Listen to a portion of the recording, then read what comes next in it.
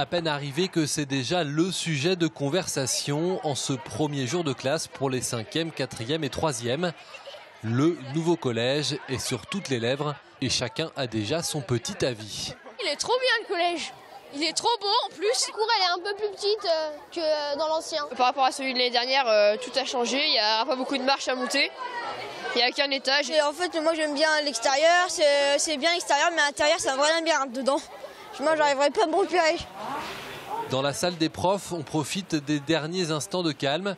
Ici aussi, le nouvel établissement fait parler de lui et provoque chez beaucoup de professeurs comme une envie de renouveau.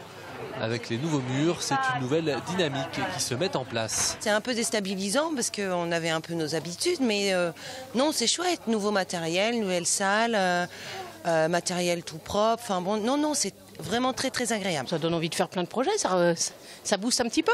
Et comme à chaque rentrée, il y a les retardataires, sauf que ce matin, beaucoup d'entre eux n'ont jamais mis les pieds dans ce collège.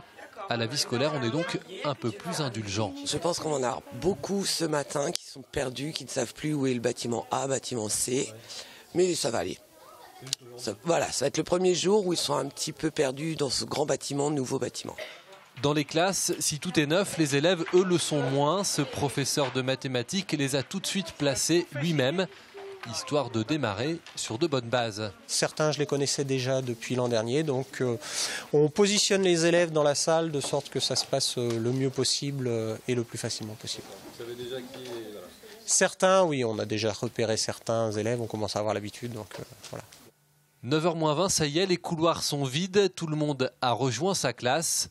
L'année scolaire 2015-2016 peut enfin démarrer.